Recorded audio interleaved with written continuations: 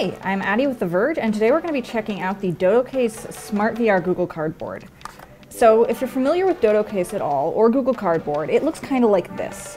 You can do a lot of fun, cheap virtual reality experiences on it, but it's pretty bulky and you're not really going to want to carry it around with you. So now they've got something that can fix this.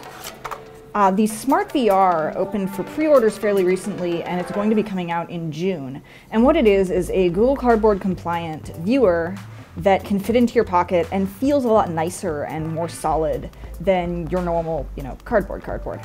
Uh, so what you do with this is very slightly counterintuitive. Uh, the back is actually the top.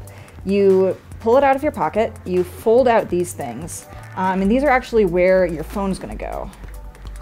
You just pop it right in and adjust it. And then you take this thing and put it over the top, and this is gonna keep light out, actually pretty well.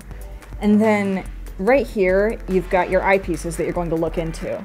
Um, so you'll just turn on your experience and move your head around. So normally Google Cardboard might have a, a button that you can use to select things. For this, you can actually just tap right here on the screen. It's very open.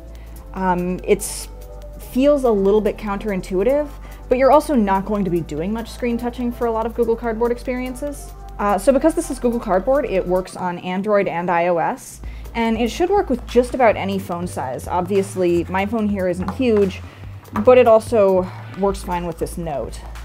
Um, if you don't want to have this top on here, if you find it a little bit too high or you just don't like it, you can actually slide it off. Uh, this is the only part of the headset that I don't really like um, because it feels just a little bit weird and clumsy, like you're going to break this. Because what you have to do is pull this out really hard and then they've got this little dowel and you can slide it out. Uh, it's a really cool idea, but I actually had to watch a video to figure out that you could do it, uh, and I'm always worried that I won't be able to get it back in. So the Smart VR feels a whole lot more permanent and safer to carry around than a normal Google Cardboard does. It doesn't feel like it's going to get stained, and when you fold it up like this, it actually feels really solid. I would not feel bad about just sliding this into my pocket. Um, when it's open, it feels just a little bit more fragile. These things feel like they might snap off a little bit, so you probably want to try to keep it closed. It's also just a little bit expensive compared to old cardboard. Uh, this might cost 15 or $20, and this actually is going to cost 40. On the other hand, that also is probably going to last you a lot longer than something like this, and it looks a lot nicer.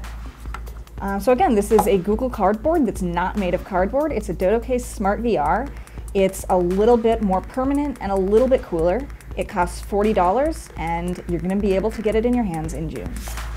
Thanks for watching. If you want to check out some more of our VR work, we've got a lot more stuff here, and don't forget to subscribe to us at youtube.com slash The Verge.